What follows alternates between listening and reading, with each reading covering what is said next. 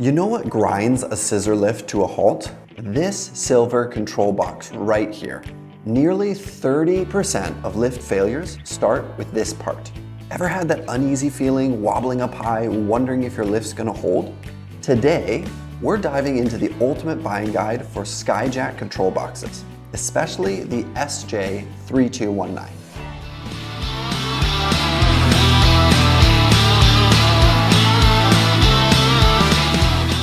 The control box is the brains of your aerial lift. So it uses proportional control. Think of it like a gas pedal for hydraulics. So the harder you push or the more input you give, the smoother it adjusts the oil flow to eliminate jerks and keep your lift steady. So how do you choose the right control box?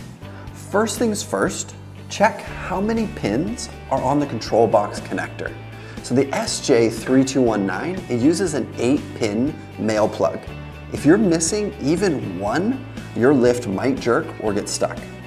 Next up, confirm your old control box's dimensions. So measure the length, the width, the height to ensure the perfect fit.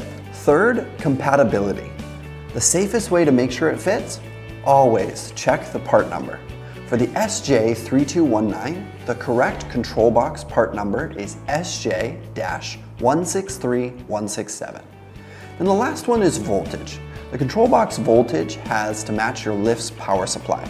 So common options are 12 volt DC, 24 volt DC, and 48 volt DC, and they are not interchangeable. Make sure you choose the one that matches your machine's voltage. All right, now let's talk maintenance. Regularly check your Skyjack control box connections, wiring, look for loose fittings, frayed wires, corrosion, Give it a quick look over every month, and then once a year, have a certified tech do a full inspection. Clear out the dust, the debris, critters' nests.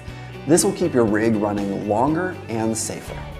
Then keep a maintenance logbook, so jot down dates, what you checked, any fixes you made.